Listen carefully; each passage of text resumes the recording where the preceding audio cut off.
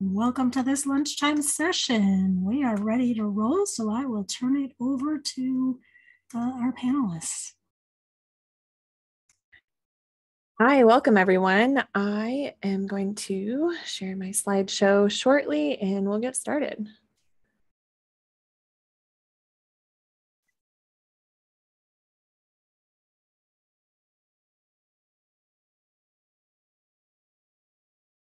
All right, you have joined the expert panel, Collaborative Learning Experience Design during Organizational Change.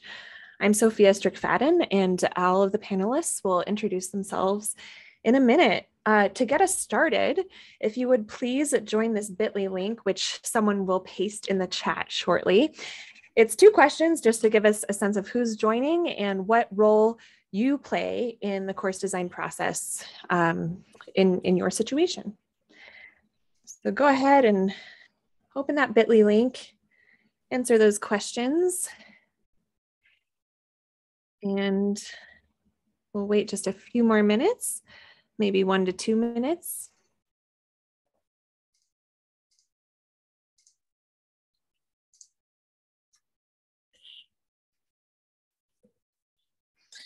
And just to note for everyone, there are two questions there in the Next button is in the upper right if you're looking to move forward um, from the first to the second.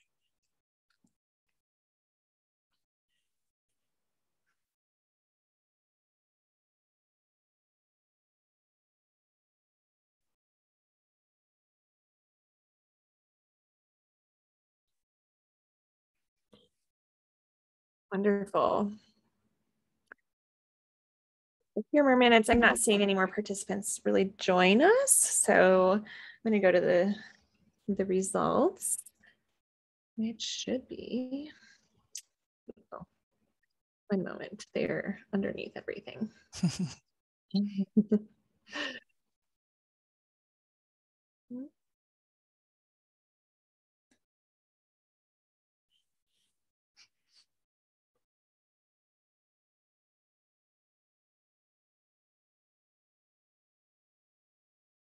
All right, so we have a few instructional designers, admin faculty, senior instructional designer. So a mix of designers and faculty, project managers, wonderful.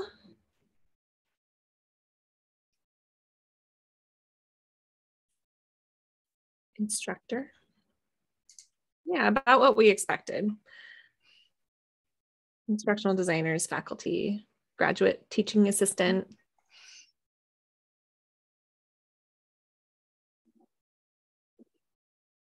This accessibility assistive technology. Okay. Yay. And then what roles do you play with course design? We have majority tied to instructor faculty and overseeing designs and curriculum. Have a good number of course implementation roles here and instructional designers and subject matter experts. And of course, you can um, select many on that one. So many of you are probably playing many roles out of these five and probably some additional roles that don't relate to course design.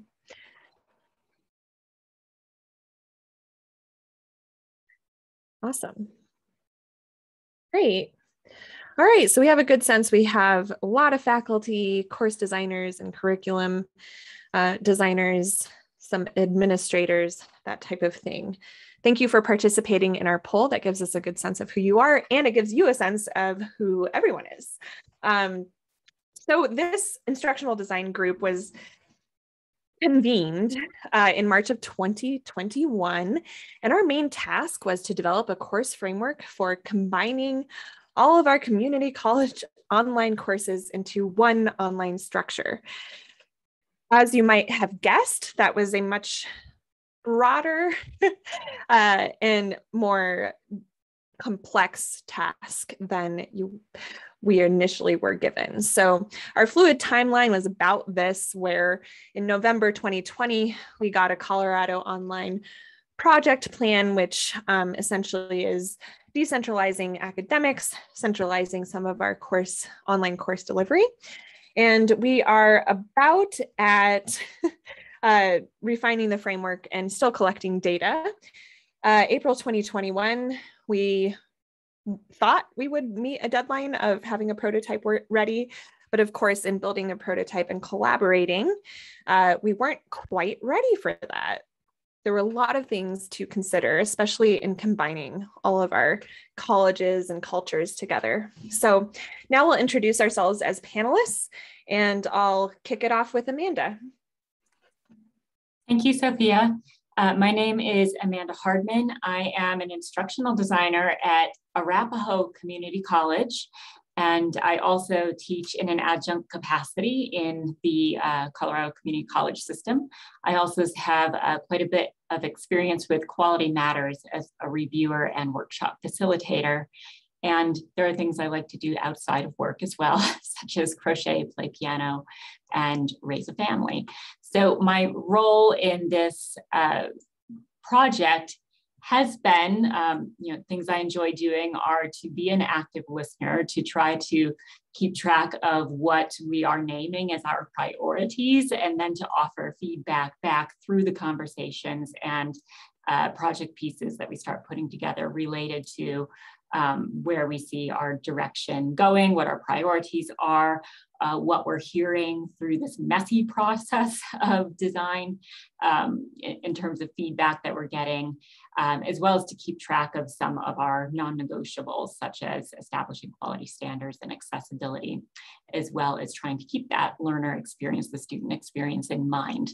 And from a technology standpoint, I will also share, since we're in a technology conference, that some of the technologies that we've used through this process have included a test instance of the learning management system, um, Zoom with all its features, SharePoint with all of the challenges of keeping track of various documents in various places. And I have appreciated that one choice that we kind of ended up making, um, and you'll hear from someone else who took on this role, was to kind of limit how many people were like active in the test instance of the learning management system at once. And we kind of kept track of what our decisions were on SharePoint Word documents with screenshots. Um, because as you might imagine, there are a lot of challenges that come with design by committee. So just a little tech note there as well. Thank you.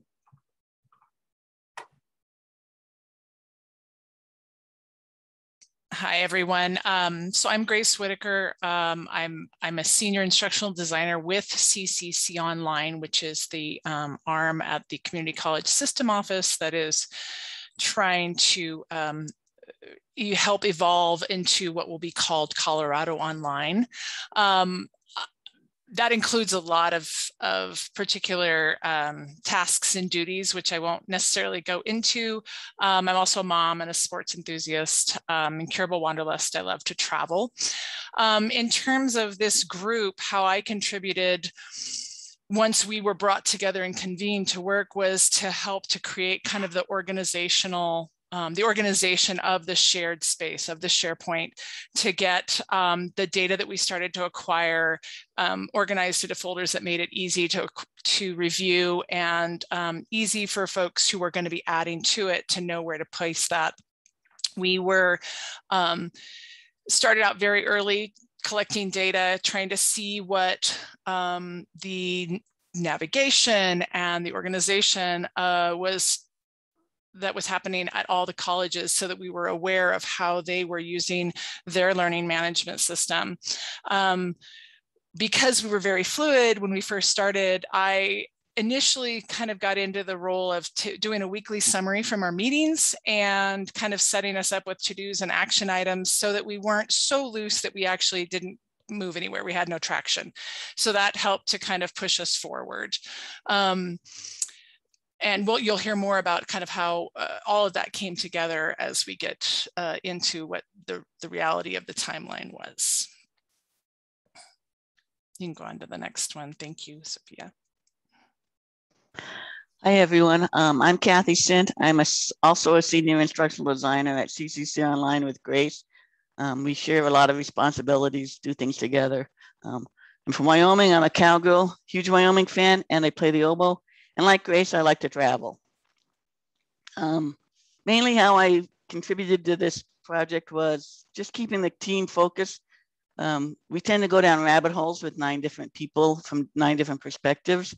And I kind of my job to say, all right, that's good, but let's get back on what we need to be doing for this week. And then I also help summarize data of the different contents. Um, and I think generally just my voice of 25 years plus experience designing the instruction that helped helps short and sweet. Hi, everyone. I'm Nancy Denton, and I'm the instructional designer at Pueblo Community College. Uh, I started teaching here almost 30 years ago in the English department part time and um, taught online for probably at least 15 of those years. Um, and also taught high school English in Rye for 12 years. And one of the biggest pieces I bring to this group is is the study that I've done with seat time for online classes and making sure that what we offer in an online class is equivalent, not more and not less, to what we would offer in a face-to-face class and and what those differences are, how we can make sure that the online experience is just as good.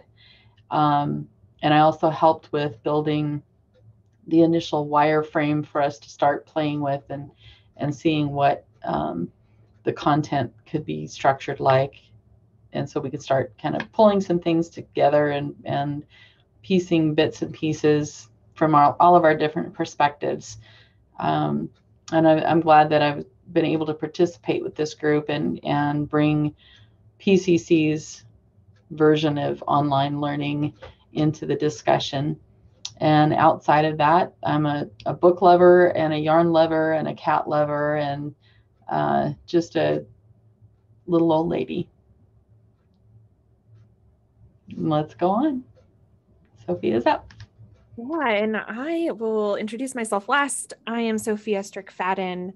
I'm an e-learning technologist, which really is just a way that uh, to say that I, I, focus more on the interactive and concrete ideas of how we build our courses at uh, Colorado Community Colleges online. I'm a Denver native, compassionate coworker, and a soon-to-be mom. Yay! Uh, I contributed mostly to this panel by derailing us, honestly, but um, I also have been translating our conversations into concrete items like mocking up our navigation for the, the test instance in the learning management system, doing really simple things like wireframes for that navigation or for how our, our wireframe, uh, excuse me, how our weekly modules might look like. We had a lot of discussion on, well, should it be weekly or should it be modular? Should it be something unnamed or topic uh, related? We really went back and forth on a lot of things because of how how many different methods and styles we're attempting to combine in this project and in this task um, which brings me to the strategic thinking. So uh, i feel as though part of my big role in this is to think strategically about how to address some of the ideas and perspectives that have come up in this in this work with nine different people with five different campuses and even more represented with our data. Um, I'm also concentrated on the online student experience design, similar to Nancy, in okay, well, if we do that, then what does it look like as a student? For instance, if we have 13 different learning management systems um, and the students are going to be enrolled in various courses from various colleges, will they have six to 13 different logins. That's not great. and that's not even to mention the variation in how the courses look and the online structure. So um, this is part of our work. That's part of our task is to streamline it so that it is an effective design and an effective de delivery without compromising the individual expression of each college and each instructor.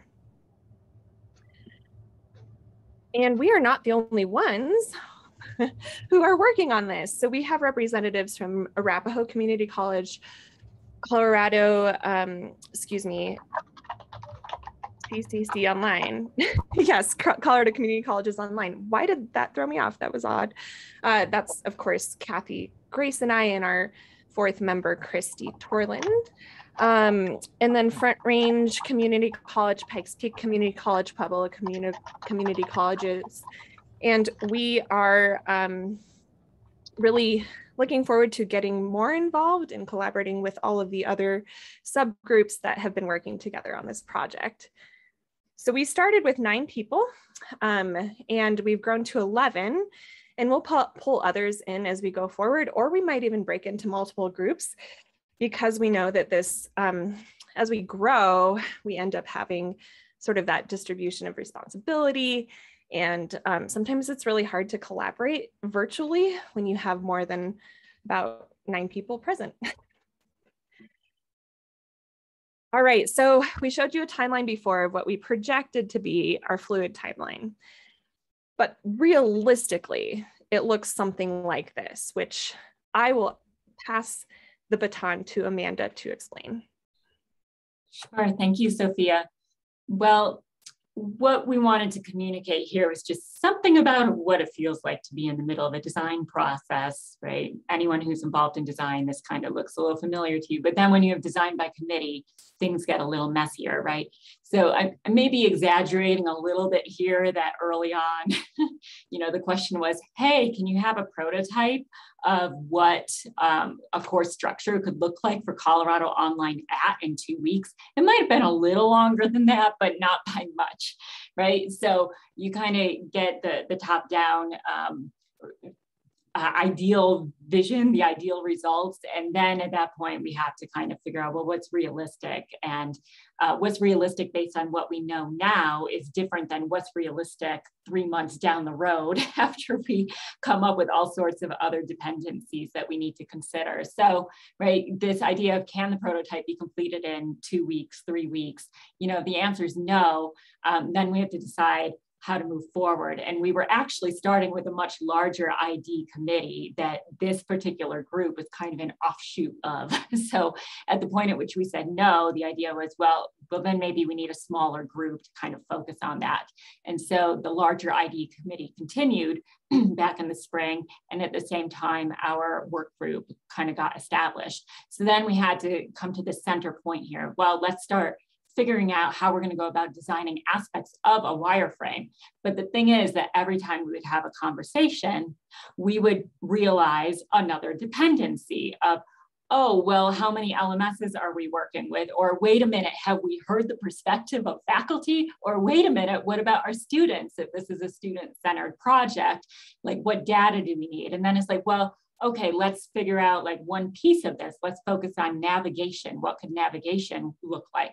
But then we still have to go back and gather uh, system data about you know which tools are being used to what extent across all of our 13 colleges and even just trying to explain this to you it gets messy quickly right and it's hard to keep track of what we were doing at what time so that's the idea here is that every time we realized that we needed to gather data we would gather that data and come back to the center point regarding designing some aspect of the wireframe. But then we'd realize, wait, we need other data. Let's go get that and then come back.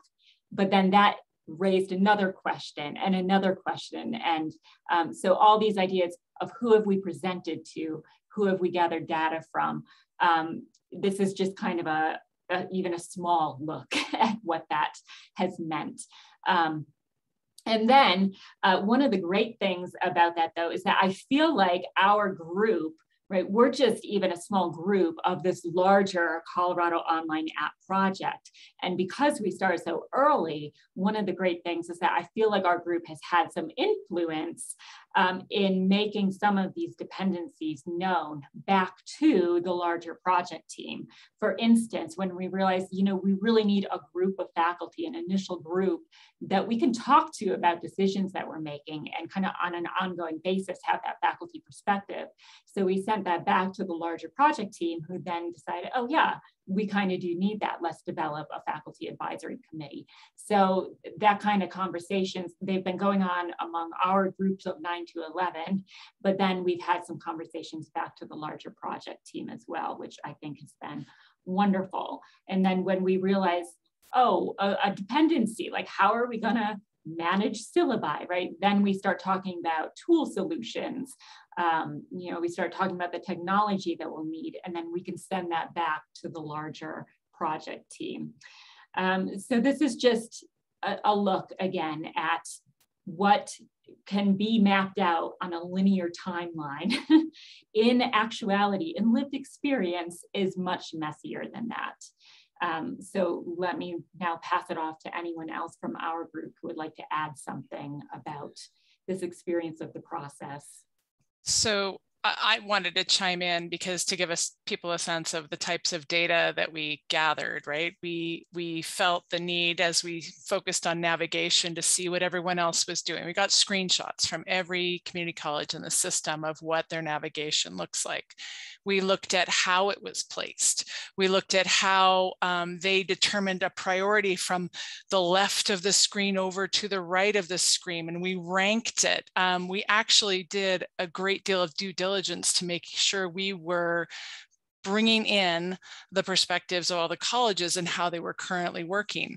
Um, we looked at the types of tools that they use and make and have active in their systems because there is a certain element of um, equity that we realized that needed to be presented by making sure that there's a baseline set of tools that every college is going to have access to when we go to this new model. And it won't be um, a, an issue of haves and haves nots because of a cost issue. We've looked at syllabi. We looked at home pages in the learning management system, that place where students come and first start into a course. Um, and that that is what started to really just push up all of these other questions about well what does it mean for someone to come to a course homepage? What does it mean if they've also got um, their home college and then the college that they're taking a course from? And how does that come together on Colorado Online? And none of these decisions has been made. It's just surfacing the questions and those have been pushed out to larger committees who are addressing them. So we we ourselves will make no decisions. We will make recommendations. Um, and that's what we're providing through the, the framework and through um, a demonstration of what a, maybe a fully complete course that someone could make use of if they don't wish to use a framework. But it will all be recommendations that will go to a, the ID subcommittee above us. We'll then take it to the presidents and um, Landon Pirius above him. So um, don't let us give the impression that we're we're running the show, but we are doing our due diligence to show that all of our all of our decisions have been data driven, and we didn't just pull them out of the air based on our particular opinions. Sometimes we don't necessarily agree with the data, but we kind of looked at what's best for what we will recommend to uh, all of the colleges. And I'll open it up to anyone else who has comments. Well, one one other thing that we've we've kind of realized, like you said, things that are outside of our scope of what we can make decisions on, but things that will have to be decided by someone. And and a lot of those are, you know, shared sources like library and online tutoring and, and those kind of issues that are completely outside of what we are challenged to do. But they are going to impact what we need to incorporate into the design system and and have that ready. So just bringing those things up to future committees who will have those responsibilities um, has been another kind of a big thing that's come up in this group just noticing what needs to be addressed. Right and i think tracking a lot of these questions and dilemmas and dependencies that have come up uh, actually has moved some of the process forward in, in outside of our group is a good way to say it. We we've come up with these questions and sort of said, well, we can't answer this. We have no control over this. Here's our recommendation from a student learning experience design, course design, consistency perspective. Um, and then it starts that conversation in the administrative um, committee, which I think has been helpful, but um, in, in other ways, I think it's it's highlighted the complexity from a logistical standpoint that we, you can't just build a prototype of an online course design in two weeks without knowing you know how how some of this is going to work and whether or not there will even be a budget to have a list of shared tools and learning learning tools to integrate into the learning management system. So um, that I, I think is part of the reason why we've been so effective as a panel or as a, a group, a working group, is we're bringing up these questions. And again, Kathy keeps us focused and says, but right now we need to prepare a presentation for the Faculty Advisory Council. Um, but it does come up on a weekly basis, these things that we're like, but we still don't know blank. Um, and someone like Nancy might bring up, well, at Pueblo Community College, we utilize this tool for all of our science courses, but it might com be completely different from the rest of the colleges. So it's really important to have people at the table and those voices at the table to learn those things firsthand and in real time, as opposed to ma making a decision, making a, a proposal, passing it up and across and whatever, and then learning three months later that it's just not possible because of whatever reason. Um, it's too expensive. The students can't use it at all the campuses. It doesn't meet our criteria for whatever quality reason.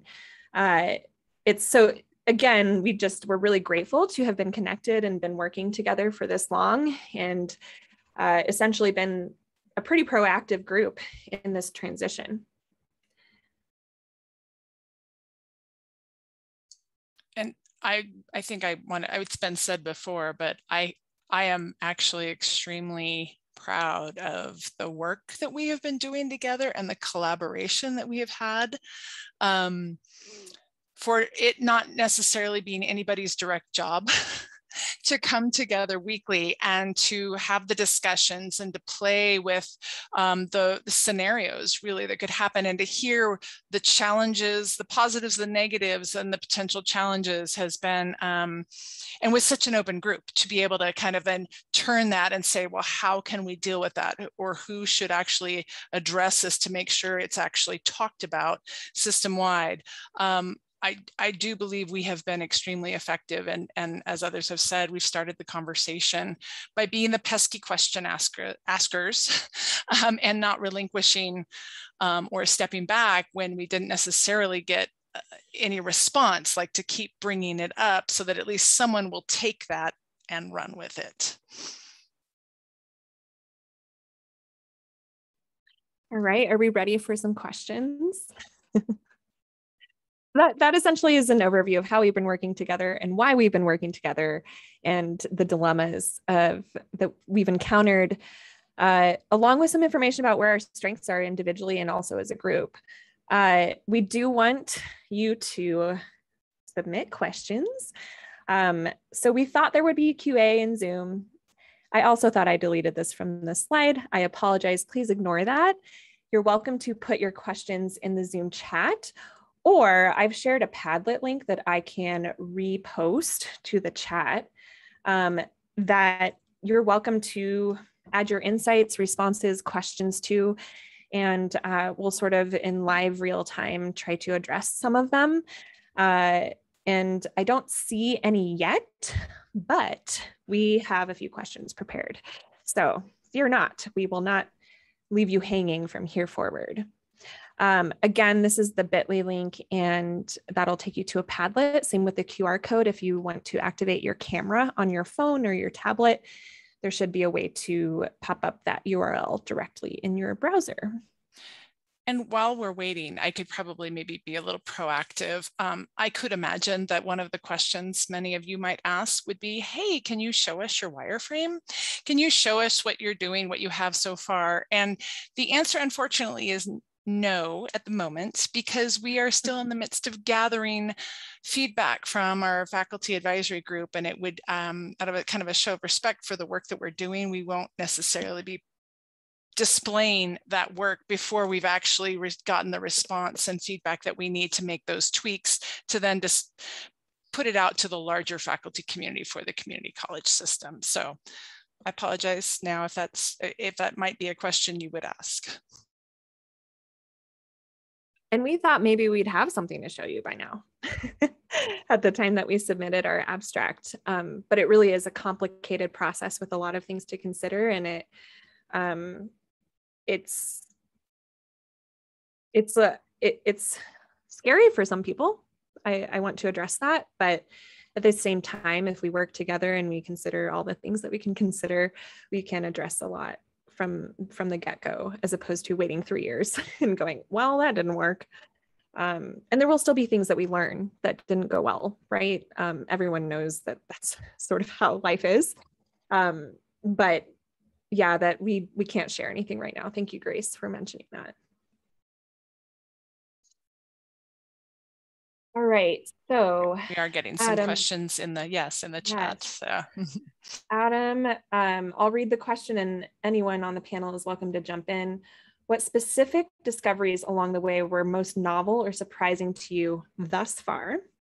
How have your goals changed specifically and what most excites you at this stage of the process? Can I answer? Yeah. I can start to answer. I, I actually, um, I don't know if they were necessarily surprising as comforting, but one of the, the big discoveries is, and that we've all kind of realized is that we're not so different in how we're approaching um, online delivery. And we are not very different um, for the majority in how we're utilizing um, either navigation or tools or looking to provide um, you know, academic freedom for folks.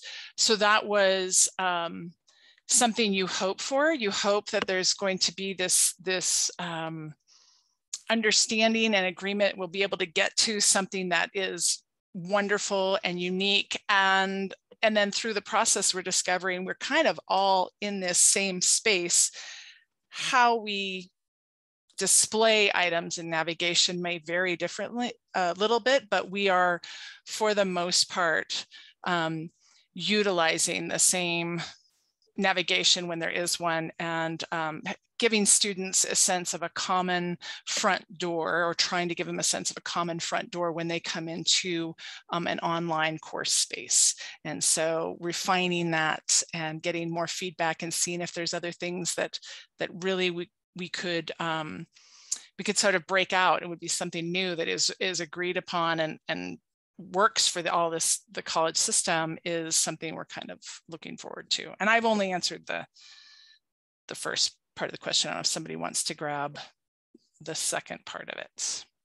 Um, I want to jump in and say that something that has excited me about the process in that it builds energy for me around the process has been the positive feedback that we have been receiving so far from our Learning Technology Council, from the faculty group that has initially seen our demonstration of the wireframe.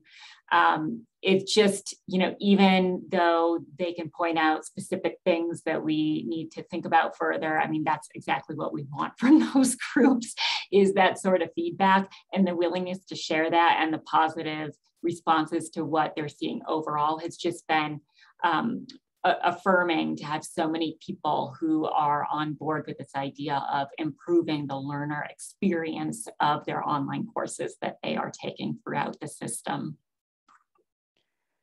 And I, th I think I'll add that one of the things that I found most exciting was just how quickly we became a fairly cohesive team, even though I don't think most of us knew each other. A few of us knew some of the others, but I didn't know everybody for sure.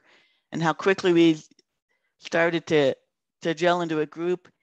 And also I'll reiterate what Grace said in how similar our processes and procedures are across the system as opposed to, well, they do it this way and they do it this way. And we're never going to get a one consensus. For instance, when we looked at the syllabi, they all have almost exactly the same components, whether they're required by the system or by the college or just within each department, they're all very much the same.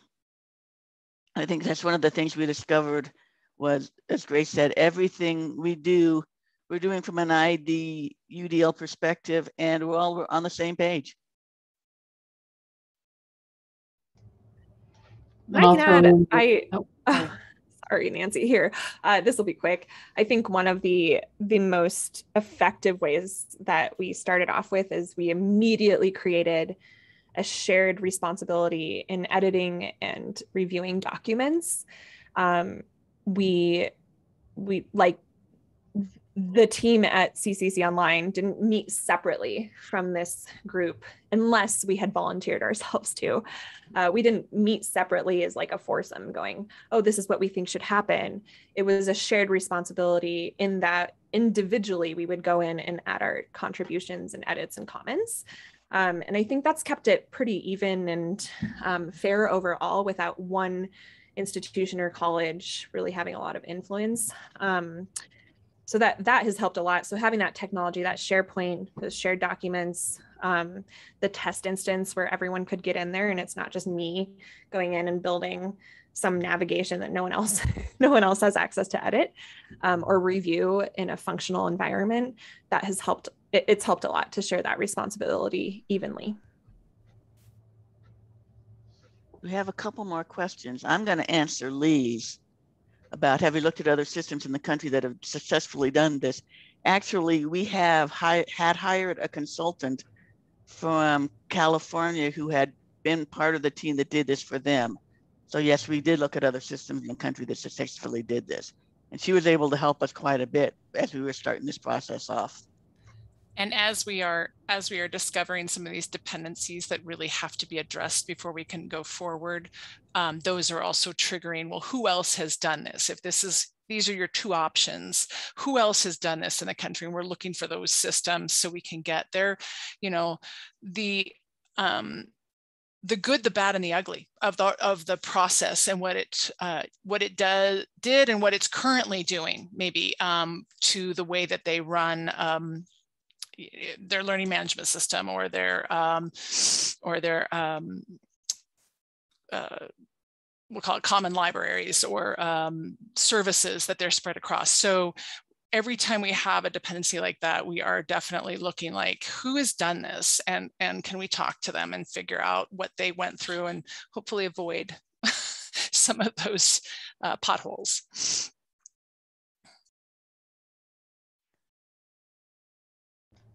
For me, one of the encouraging things about working with that consultant at the beginning was that she was watching us come together and gel as a group and the kinds of things that we were coming up with as far as how we wanted to manage this and the kinds of questions we were posing.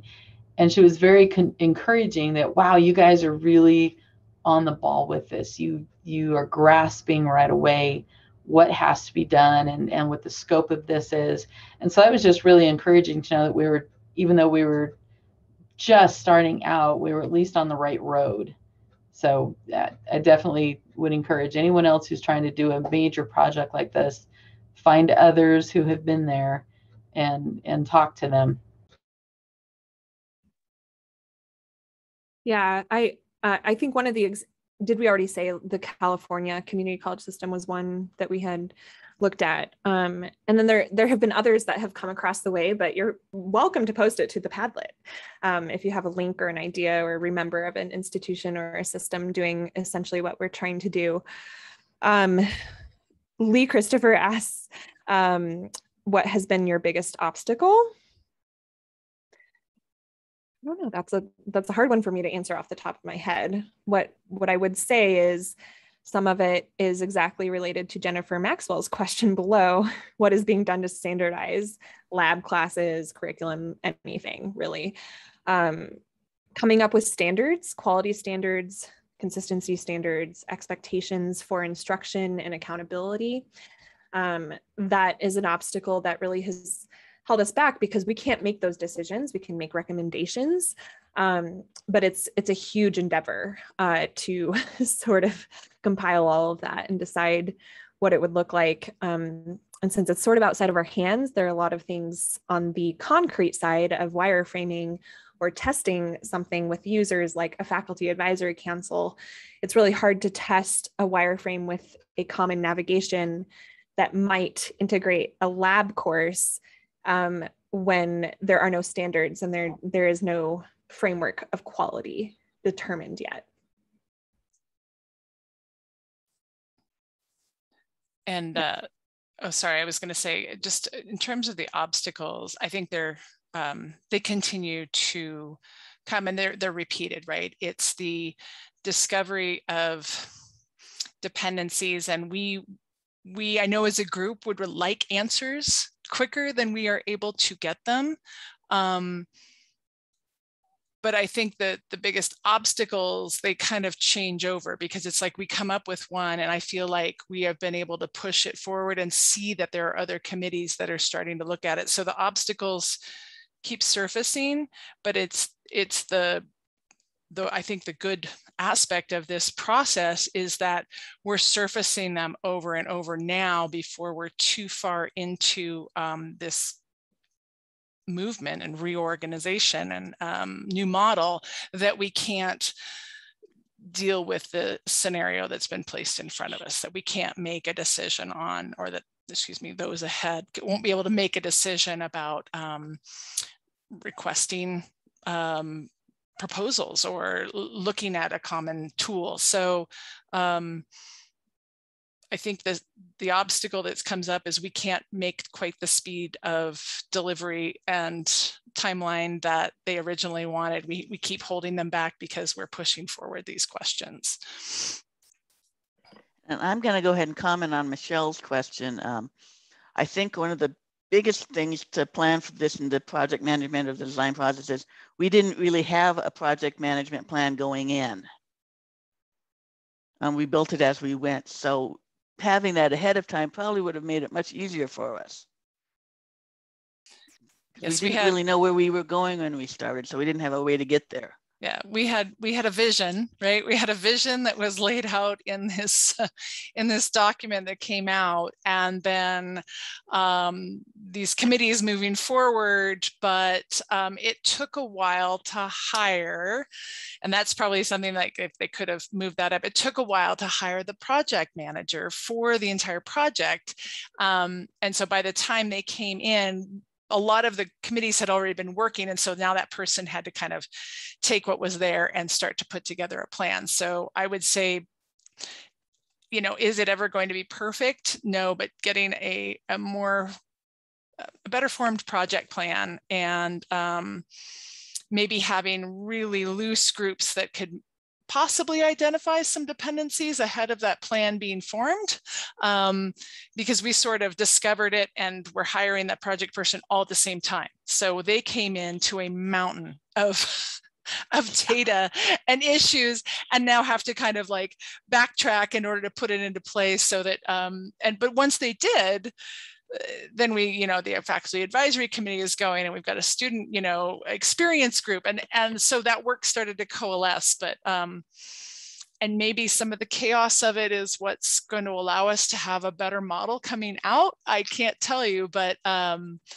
but yes uh hiring that project management manager and that having that plan sort of a little more formalized earlier on is probably Earlier would have been nice, yes. yes Can I piggyback on that as well? Just because Michelle's question is kind of like, well, maybe what could have been done differently as well. And, you know, when we were given an initial, um, you know, wish about when the project would be done, it did come from top down. So to mitigate some of that, it might have been a good idea. It's something, you know, hindsight's 2020 to have those who might be doing the work have some input into what a realistic time frame might have looked like. Because I think that our group was pretty quick to push back and say, well, this is actually going to take a longer time. And that's a reason why we did kind of break off into a new group, right? So um, having that input earlier on might have set a, a more realistic goal on the front end.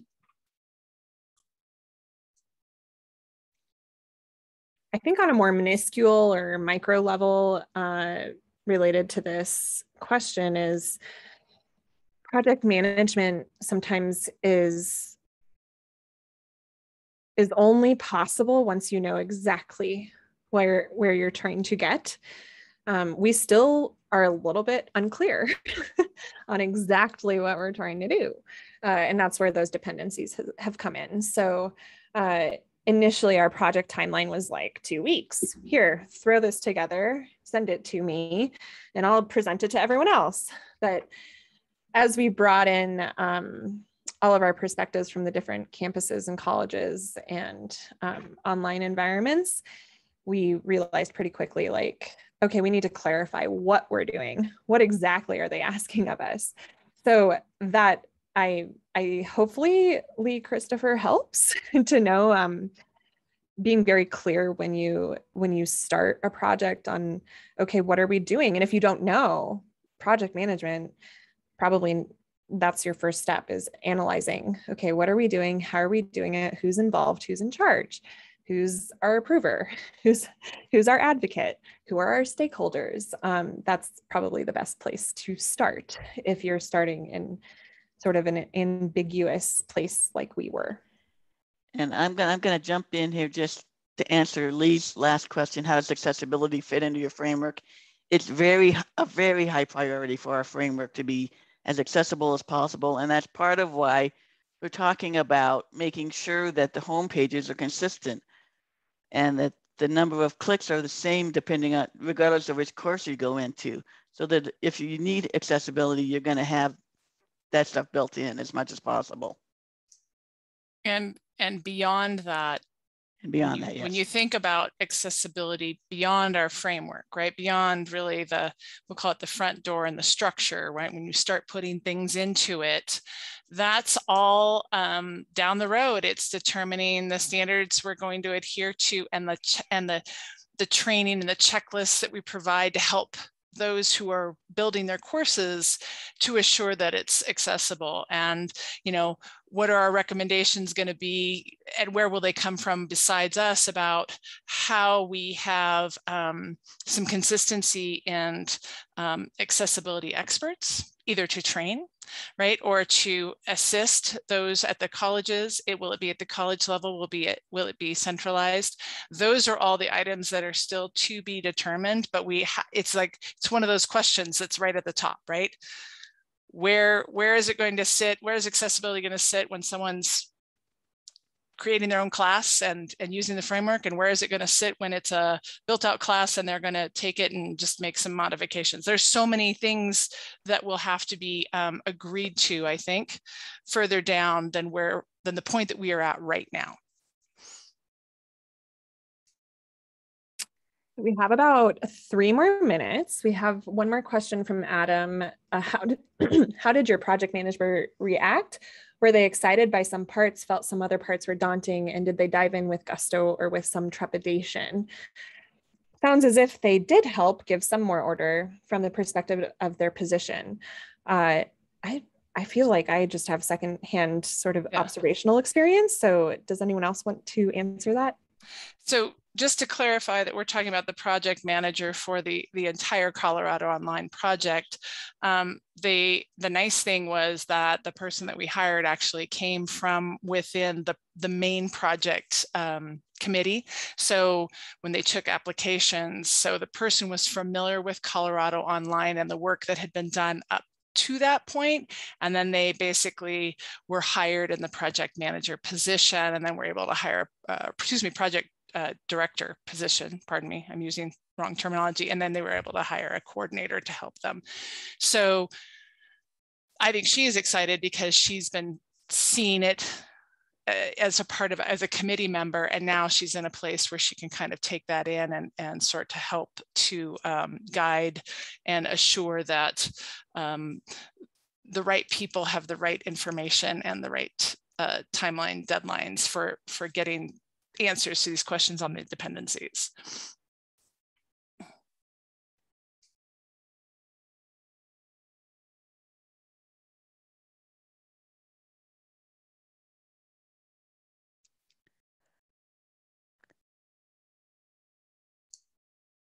did you want to tie it up, uh, Sophia, for, are you?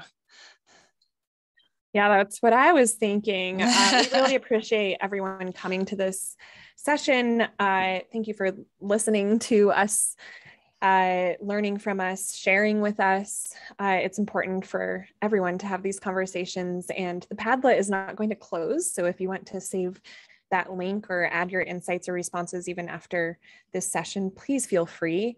Uh, we know that this is, we're not the only ones that are going through this type of process, and we're not the only people that will be implementing a combined structure of some sort in the next few years. So um, feel free to reach out to us. Uh, I think our, our emails we didn't put in here, but um, I can put mine in the chat right now and I can connect you with anyone on this panel uh, easily. We can all like put them in the chat. Yeah. Um, and I think one of the main takeaways here is that it is possible to collaborate. It is possible to do it with technology that is shared from one institution or one system with many other systems. And it is possible to share the responsibility. Thank you, everyone. Thank you. Thanks all. Thank you. Stay well.